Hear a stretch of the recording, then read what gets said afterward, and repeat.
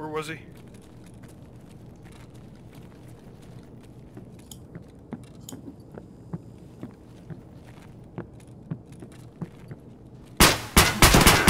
Oh my god, Troy, I killed him.